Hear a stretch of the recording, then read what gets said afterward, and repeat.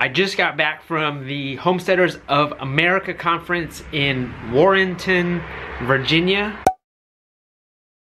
And it was a fun weekend. I took a road trip. I went by myself because because Lorraine and Penelope are out west, out visiting family. Love you, Penelope. I think the whole weekend I was like this. Oh, look at that. Look at that.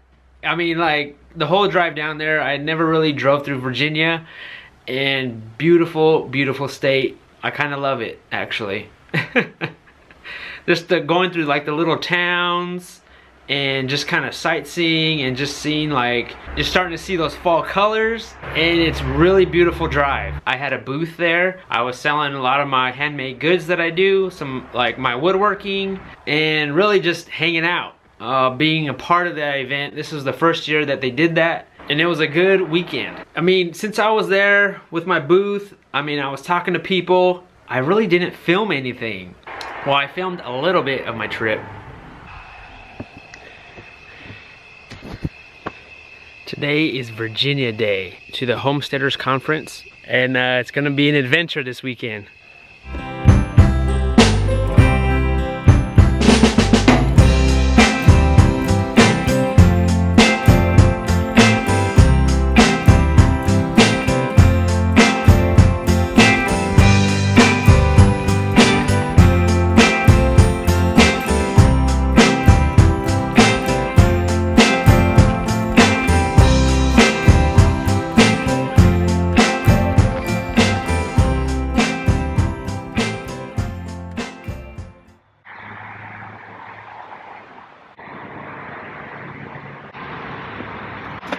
That house is where I'm staying for the weekend. My Airbnb, built in the 1826.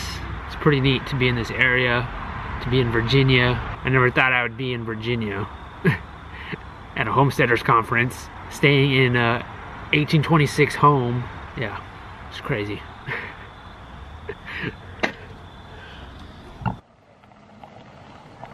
All right, I'm at the Homesteaders Conference. Everyone's here super early, trying to set up.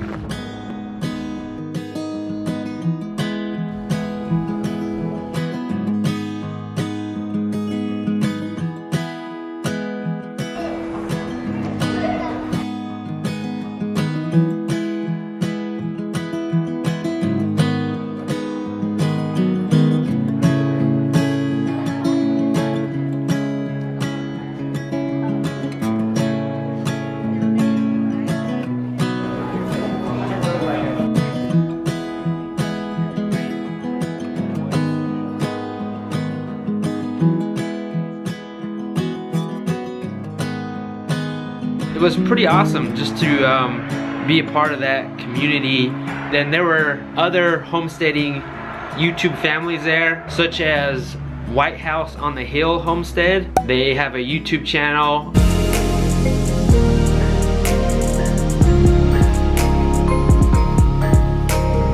Really nice family and we hung out for a bit. We had a little Q&A uh, session going on. Hey guys, we are here with Sow the Land also known as Jason. Just kind of asking me some questions.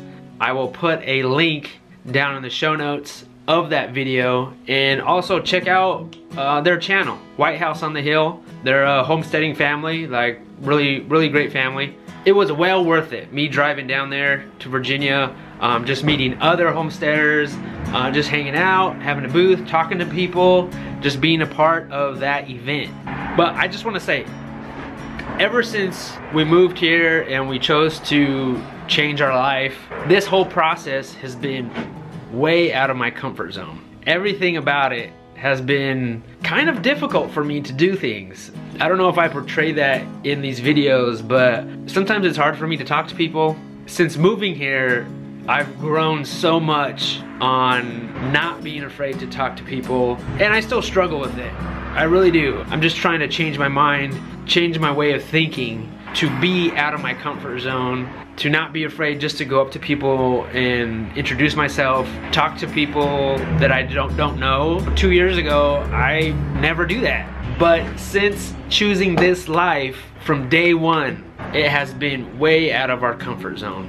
And I try to remember that. If something comes up, an opportunity comes up, right away I think like I might feel too awkward, it, it might make me feel uncomfortable. But then I think, you know, this whole life that we're living now has been uncomfortable. And I might as well keep the ball rolling. let's keep that uncomfortableness going and let's see what happens. And next thing you know, I'm going to Virginia, I'm meeting new people, making new friends. Uh, it has been incredible. Um, I don't know, I just wanted to share that. What I was thinking the whole weekend. And everyone that came up to me at that booth at that homesteaders conference and talked to me, introduced themselves to me, shook my hand, said hello, thank you. I appreciate it very much. But I appreciate you guys watching and uh, we'll see you next time.